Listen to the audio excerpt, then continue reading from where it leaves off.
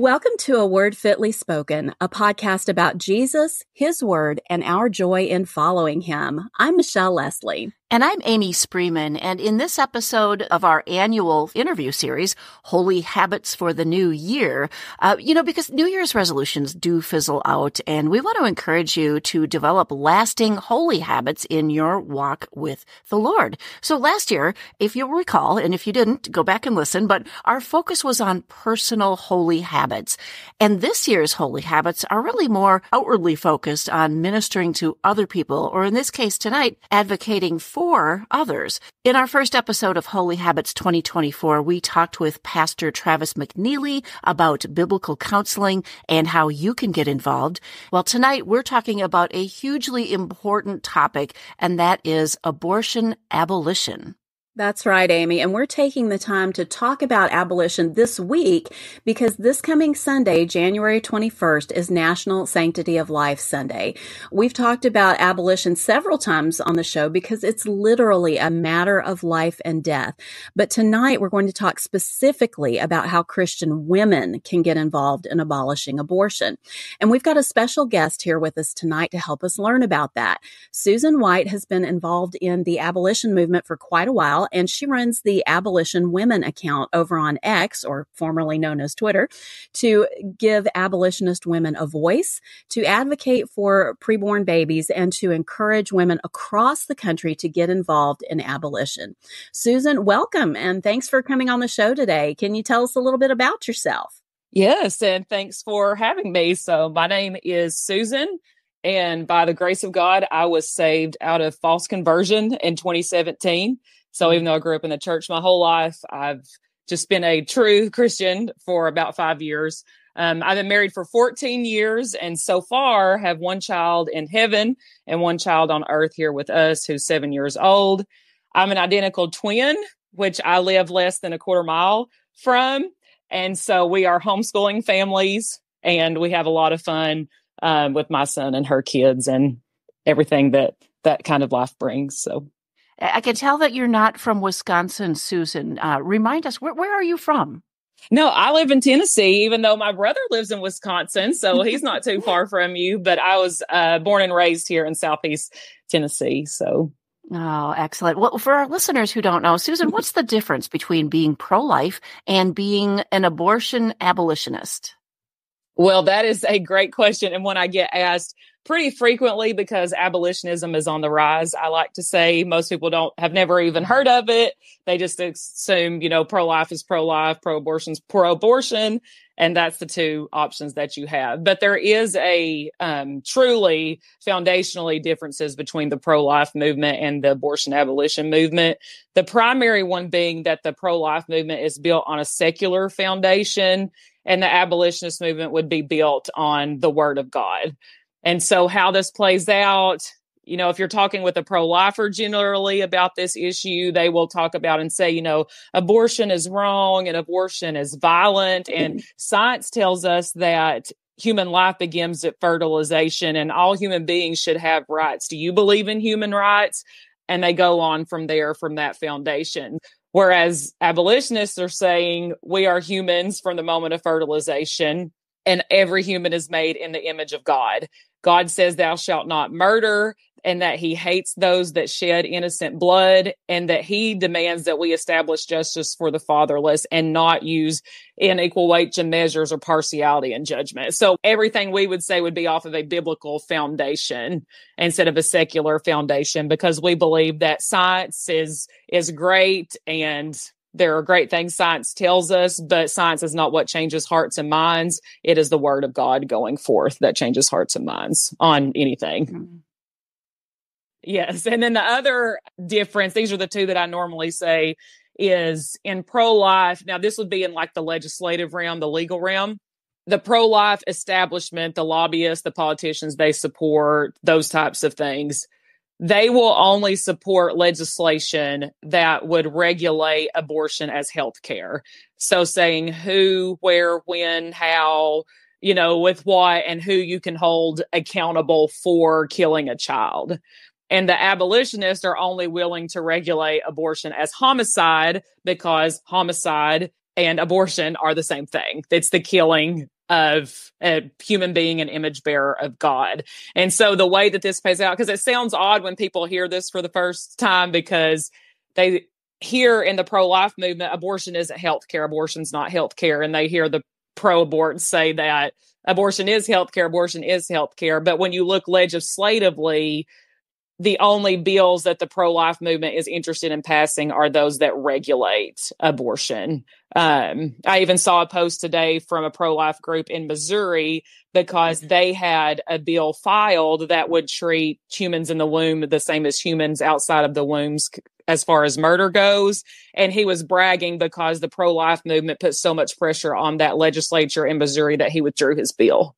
And they were bragging about it. And so you know there there really is a huge difference when it comes to legislation about what pro-lifers are doing and are willing to do and what abolitionists are not willing to do based on the word of god who says don't compromise with child sacrifice so Right. So this really is coming at it more from a biblical perspective, a Christian, a uniquely Christian perspective. So that that's really good. And I think that's that's really what our our listeners are are looking for, you know, to to to join in with and to support.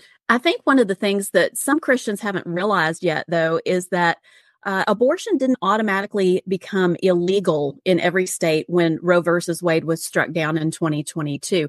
So some of our listeners, you know, as they're trying to think about this biblically, they might be thinking also at the same time, why is it so urgent that I get involved in abortion abolition now that Roe is is over? Can you help us understand why abortion has actually increased since Roe and why it's vital to continue the fight against abortion? Yes. And so there is a reason that people think there are states where it is illegal and that it is abortion free. For example, I saw Students for Life, which is one of the largest pro life groups, two days ago put out an infographic that said, We've, you know, um, ended abortion in 14 states. We have 36 to go. But that is not true because abortion is actually still legal um, in all 50 states and legal for the pregnant woman until birth in all 50 states. And I was looking at some of the numbers because abortion rates, they are increasing, which a lot of people don't know.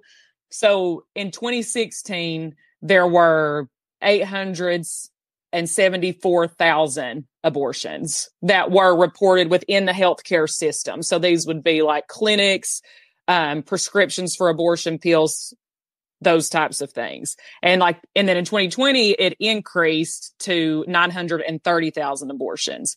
And this year in 2023, if the pace keeps like it has throughout the year, then we're, the nation is on track to have uh, a million and 22,000 abortions within the mm-hmm. healthcare system. This does not count those that are happening outside of the healthcare system, which would be women ordering pills online and having them shipped in. And just from one, there's 20 sites that we know of that do that. And just from one of the sites, they reported that from September of 2021 to August of 2022, they had 42,000 requests from um, 30 different states. Um, Susan, you know, a, a, lot of us became involved in um, kind of championing the pro life movement when uh, we first became Christians or through our churches. And I know that uh, a church of mine uh, many years ago, about 20 years ago, supported the pro life movement. I didn't know a thing about abolitionism. But what I've learned in the meantime is simply that the pro-life movement, you, you win ground and you lose ground. It, it's, uh, and it, it's been going on for decades and decades since Roe v. Wade. And I think a lot of us are just simply tired of this game. It, it's like a big game. It doesn't even matter if you're pro-life, but if you're an abolitionist, this, this ends uh, the killing of babies. And I, um, tell me your thoughts about kind of the, that shift that you talked about earlier, the shift in, uh, why there are so many more, uh, people coming over to realize that uh, abolitionism is really the only thing that's going to work here. I think one of the things and one of the reasons that abolitionism is gaining ground is because people are actually hearing about it. So I mm-hmm. started in 1999 in the pro life movement when I was in middle school. And I had a cousin who got a position at the local pregnancy resource center. And so I would go there and volunteer. I would go to local um, events around our area and have the baby models and talk about baby models and fetal development and those types of things. And as time went on, that's all I knew to do. And then, you know, you support your local pregnancy resource center, you go to their banquets, you give money. Like I didn't really know there was anything else to do yeah. until 2016 when I was in a, I got kind of lost in Knoxville and I drove by Planned Parenthood. And I was thought to myself, I didn't even know there was a Planned Parenthood in Knoxville.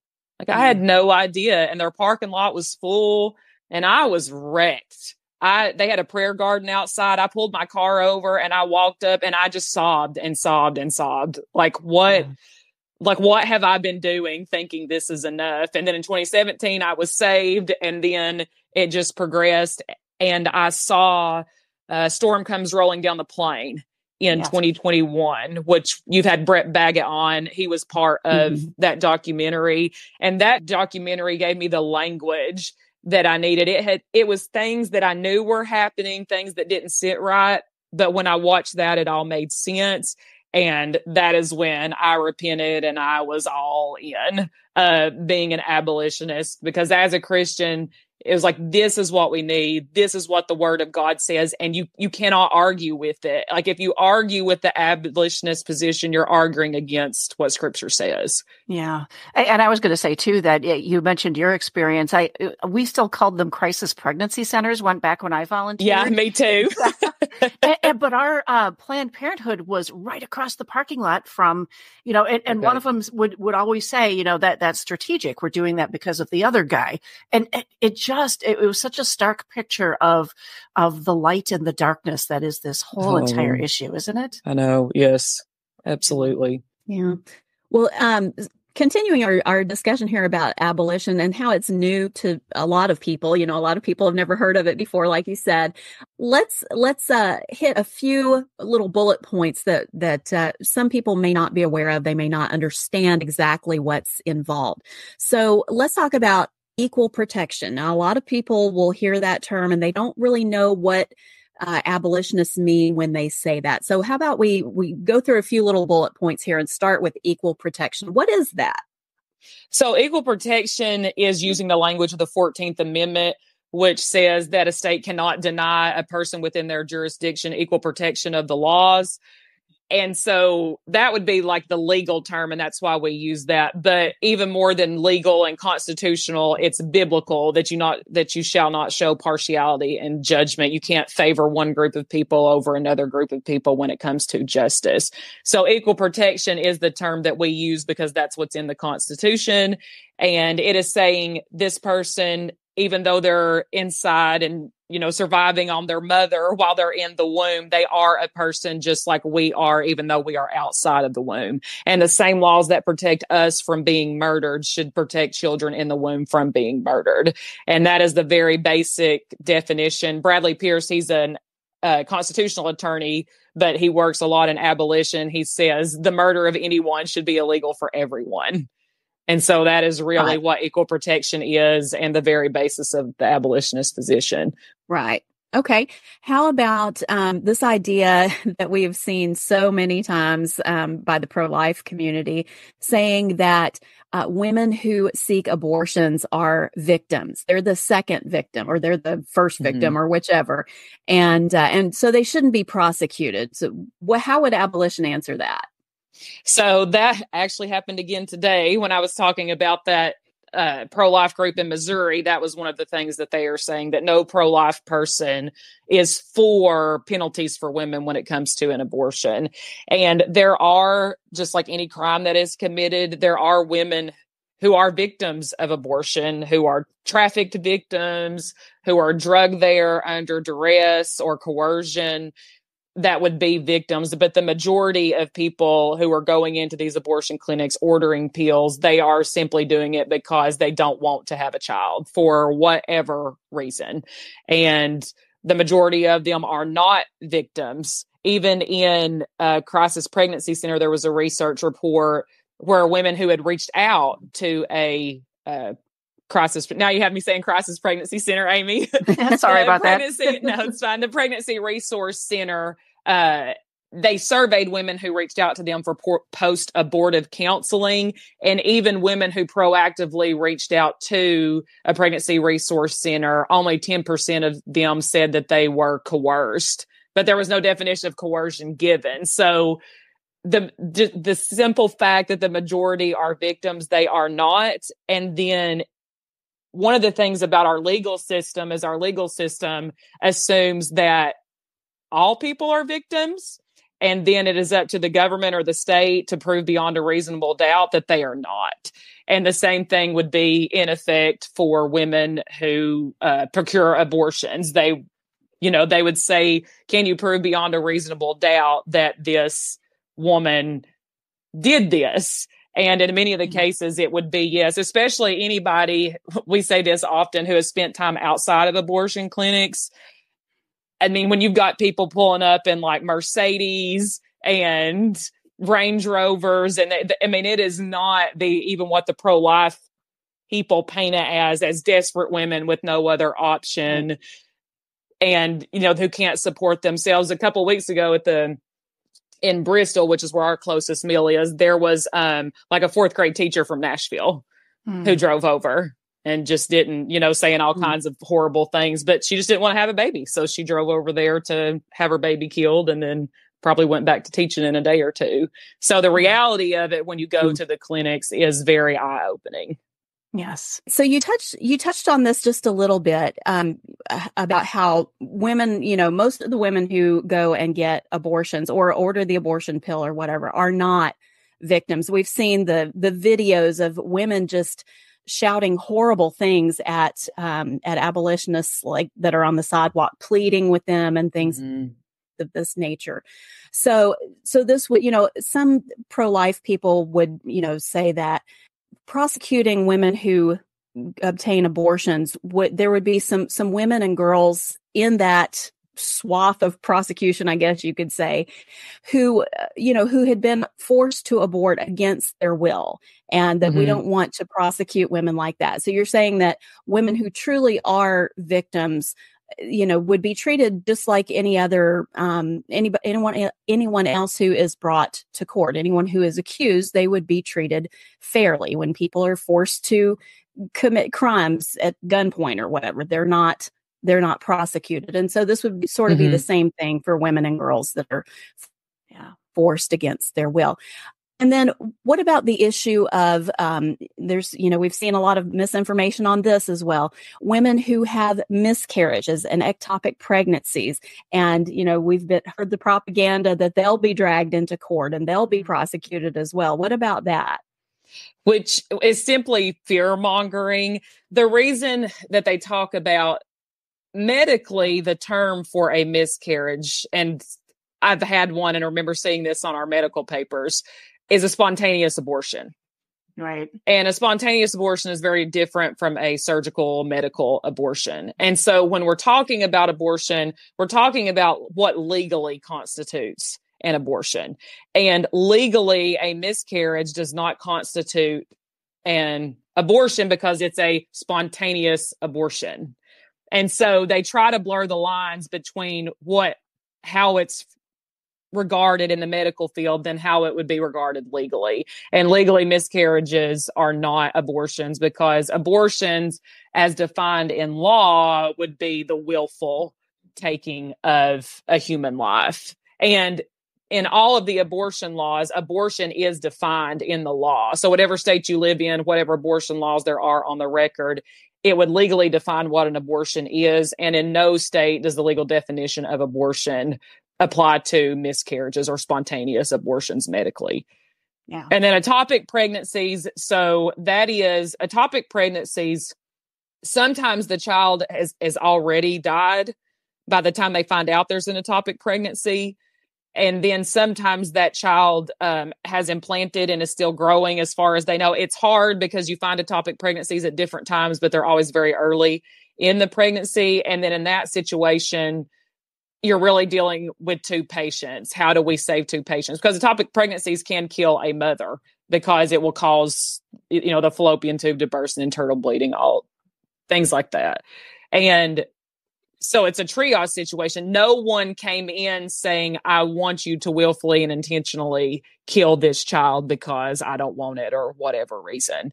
And so there are, um, yeah, just a major difference. It, it aggravates me because I know women who have had ectopic pregnancies and to think that what they have experienced um, would in any way equal what an abortion is, is it's just heart wrenching to me and for them as well that people are using their pain to say, oh, we can't, you know, we can't have laws against abortion because of ectopic pregnancy. This, that's just ludicrous. Yeah, I, I remember uh, when I uh, lost a child, um, a baby in, in pregnancy, and I, I was crushed to see my medical record saying that it was a spontaneous abortion. I had never mm-hmm. heard that term before to describe a miscarriage, and I, I just couldn't believe it. And when I hear women today in in you know modern time, just just weeks ago, I heard somebody talking about that, saying that they were equating uh, a spontaneous abortion with the abortion evil practice of taking another life intentionally and uh, it, it's just heartbreaking. So I think there's a lot of opportunity for education and for mm-hmm. trying to um, take the battle of the languages because uh, language words mean things. And yes. what we found is that when the other side is so adeptly uses the their oratory skills to uh, just uh, really push the the narrative here, uh, uh, we end up losing even more ground. So I, I think how, mm-hmm. how, what is the best way that we can do that? How can how can we educate ourselves to uh, to what's been said and and you know make that case for abolitionism? I think just being out in the culture, if someone realizes that abortion is legal in all 50 states for the pregnant woman, they are miles ahead of just your average person walking around. And if all of you, if all you know is the word of God and that, then you are well equipped to talk about this issue because so in Tennessee, and I would encourage people to look up what the, even if they're in an abortion free state, as the pro life movement says, look up what your law is to be able to talk about your state specific law. So when I'm interacting with people who think that Tennessee is abortion free. I will say, you know, do you realize this is what it states in the Tennessee Human Life Protection Act, which was our trigger law that was passed after Roe v. Wade was overturned. And so basically it says that a pregnant woman can use and this is quoting right here any instrument, medicine, drug, or any other substance or device with intent to terminate the pregnancy. That's what the law says. And then further down the law, because it exempts the woman from any legal penalties, it's saying that the pregnant woman can use any of those methods to end her pregnancy until birth. Yeah. And so you have to get people to understand that the laws are deceptive because you'll have all the definitions up here and then at the very bottom of the law it will have who is exempt from it or this this shall not be um, construed to have a pregnant woman with legal penalties. And, and they all say some version of that. And so, yeah, I mean, truly, if you just know that, you know so much more than the average pro life person out there. And then the word of God tells us how mm-hmm. valuable children are when human life begins and that God does not want murder to go on legally in any way. So, yeah. and I feel like obviously abortion is one of the reasons that judgment is raining down on this country is because of how many image bearers of God we have killed under the cover of law and still continue in every single state to murder under the cover of law. Yeah, absolutely tragic. And and you, will recall just a, a, few months ago now, I believe it was in Texas, a, a woman uh, tried to, you know, she she took her case as far as she could to get uh, an abortion because she said that uh, the the child was uh, had some uh, um, developmental uh, disabilities of some kind, mm-hmm. uh, physical disabilities, and she uh, said that you know going on with this pregnancy would endanger her life. Um, that was initially ruled not true. It wasn't really going to endanger her life, um, but that that whole you know uh, exception clause in there that we've had for many years in many states saying, you know, unless it's uh, to uh, save the life of the woman, you know, uh, you know, this has been construed to be, you know, maybe she's got a, a, a, mental depression that's going to happen if, if she continues the pregnancy, or maybe she'll have a headache or something like. I've never seen a case, uh, and and maybe I'm just not savvy enough, but but I've never seen a case where a woman's life truly was in danger. Uh, it, the difference between giving birth to a baby and uh, killing it in the womb, you would think that that you know having a surgeon insert some kind of sharp instrument or, or a vacuum would yes. be much more dangerous than uh, giving birth. So, uh, where yes. do we go with that? So, life of the mother exceptions, there are depending on the state that the abolition bill is written in, they look at what the homicide code is in that state and what it has for triage. So, say you have you know, triage mm-hmm. laws are like three people are in a car crash and you could only get two of them out before the car blew mm-hmm. up. Okay, that's a triage situation and you can't go after somebody because that third person was left because all they had were two arms to carry people. That those types of things are mm-hmm. written into the homicide law.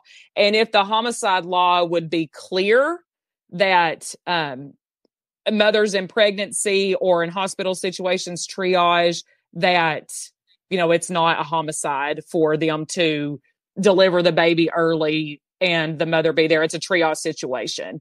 And so there are some abolition bills that will have what people read as life of the mother exceptions, but they're really not. It generally is just clearing up the homicide law that's already there so that it's not mistaken. And then, but most states that you have, they already have laws like that. And so people said this doesn't even have an exception for life of the mother. Well, that's because there are triage laws in the homicide code that would automatically protect that woman from being, you know, prosecuted as for having an abortion. One of the um the things that's unique about the abolition movement as we've been talking and you know discussing all these various aspects of it one of the things that sort of sets it apart from the pro life movement is the idea that we should work through the local church to abolish abortion. So, therefore, you know, pastors and elders, men, of course, should be leading the charge. How does the biblical role of women in the church impact women's involvement in the abolition movement? For example, should women be leaders in the abolition movement? Are there certain abolition activities that women shouldn't take part in?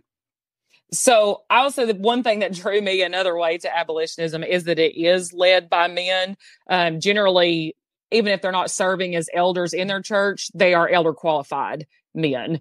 Many of them are pastors, and I love that because you don't have like women clawing at each other and catfighting for powerful positions like you see in the uh, pro life establishment there are a couple of women who run organizations that would be abolitionist organizations, but that so Imago Dei would be one, not a victim would be one.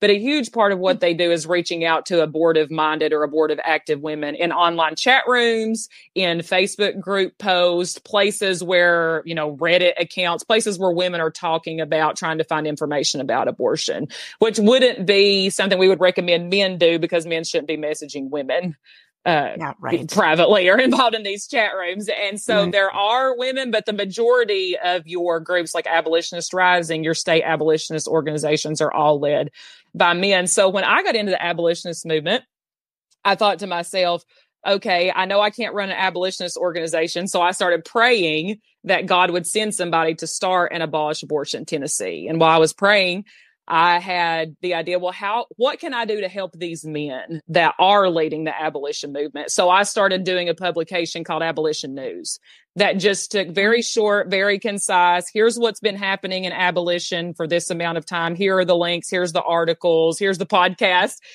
Here's the YouTube videos, those types of thing. And that was really where well received because many of the pastors, they're like, I don't have time to keep up with all of abolitionism. This is so helpful. And so I did that until God, thankfully, brought us a man to start and lead Abolish Abortion Tennessee, which happens to be my pastor. So very thankful for that.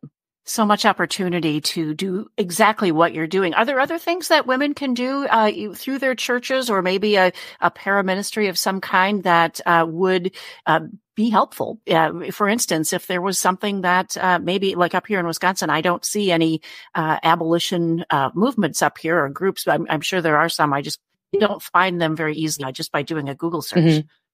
Yeah, there is a website on Abolitionist Rising they have a directory of abolitionist organizations by state. Not every state has one, but if your state has one, then it's on there.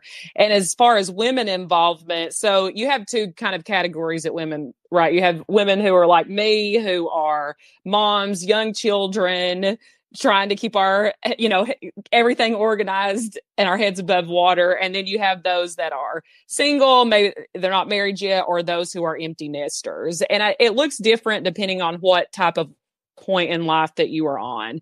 And so for me, and especially for my sister, because she has three children and just has one that's two months old. And so very small. The, the, the best thing to do is number one, pray. It doesn't matter yes. what stage of life that you are on. This is a biblical movement. We believe in the power of prayer. So just pray for the abolition of abortion.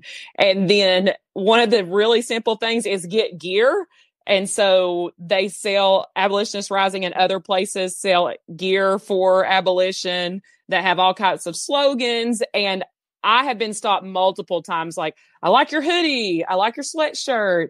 Can you tell me more about this? Where'd you get this? I want to buy some. So there's been definitely conversations to be had just while you're out the grocery store or at your kids basketball game that start conversation. Another thing that anybody can do, we call it drop carding or seeding the culture. And so they're little uh, index size cards, or some of them are the size of business cards that have, like, we have ones that are specific to abolish abortion Tennessee. There's some that are specific with Abolitionists Rising again, because they're the they're where I get a lot of my merch from. And you can leave them in credit card readers, in gas station. I leave them at the pump all the time in bathroom stalls, in the aisle when you're going down the grocery store. My son loves to seed when we're at the grocery store. So we always take in cards and then he decides where to put them as we're shopping. So that that is very easy, practical things to do no matter how old you are. Sharing social media posts, talking with people in your real life, donating to abolitionist organizations. I mean, there's you know, it doesn't matter what stage of life you're in. There, those are mm-hmm. very simple things that people can do. Uh, thank you. And I, I did, uh, as we were talking here, I just looked up the uh, Abolitionists Rising site. It is very good. I, I have not been here before. And uh, Susan, I, and ladies in Wisconsin here, there there is no such abolition bill in Wisconsin, but all the links mm-hmm. to uh, the the state legislature, current bills, the, all all the contact information where you can, you know, be a little bit more active if you want to be. We'll we'll have those in the show notes today. Yeah, absolutely. I think we'll we'll try to provide our listeners with as many resources as we possibly can and links where they can get involved. We touched a little bit on various stages of life and uh, what about women who do have a little bit more time on their hands to get more actively involved? Are there uh, are there other things that they can do that might you know where they could might take a little more active role? So the number one thing would probably be talking to legislatures in their whoever their local representatives are because like i said i think about my sister going with her three kids and trying to talk to a legislature or to go to nashville to talk to somebody it would just be chaos. And so those that don't have that to talk to their legislators about them to try to find somebody who is on board with equal protection. Uh, there was a woman who's an empty nester that i saw on social media the other day. She had a watch party for her sunday school class for a storm comes rolling down the plane to kind of show them, you know, what she had been talking about. She made snacks and things. And so in that type of life, we don't have little kids that are running around and people aren't trying to hire babysitters. You know, you can do education that type of way, ministering outside the abortion mill. Generally, what it, wherever the abortion mill is, there's people who regularly go. So just finding those groups, if it's within driving distance, to go help minister with them. Um, and then, like I said, if your state has an abolition group to get involved, involved there. But those those would be the things that are much easier to do when there are not little ones running around. So yeah, that's true. And and also I think to to uh bring our pastors up to speed too. If our pastors don't yes. know what abolition is and maybe kind of try and get them on board as well and and uh inspire them and and uh get them excited about abolition as well. Uh because they really can they really can turn the the church that direction as well. So I think that would probably maybe be something that eh, people with with any amount of time on their hands could probably do. So that would be good. That yes. would be good. All right, Susan, as we wrap things up, is there anything else that you'd like to share with our listeners about abolition or how they can get involved? I think we've covered the majority of things. If anybody is, like I said, more specific, please go to your state organization for abolition. If your state does not have one, then you can reach out to Abolitionists Rising and they can help you or help pray with you if you're a woman until God raises up a man um, to lead this charge in your state. That's what I had to do. I simply prayed. And then when our new pastor came after our other one retired, I talked to him about abolition. He'd never heard of it. I just gave him the materials. I let the word of God do the work. And a few months later, he said, Wow, okay, I'm an abolitionist and we need to do something mm-hmm. about this. And so, yeah. And so God will, like, mm-hmm. he more than anybody wants this abolished. And so, yeah. he, I just feel like he will work when his people are seeking to bring an end to it. And it's so simple, something that all of us can do. We can pray, we can uh, set forth mm-hmm. materials, uh, very, very easy and very mm-hmm. effective mm-hmm. as well. It has been so great to have you on the show, Susan. We're going to put links in the show notes uh, to where people can find you, but why don't you give those now? Uh, where can people find you online? Uh, so my twin sister and I, we run Steadfast Women is our main account, and you can find us. We have Steadfast Women on Facebook, Instagram, and X, formerly Twitter, and we have a website steadfastwomen.org.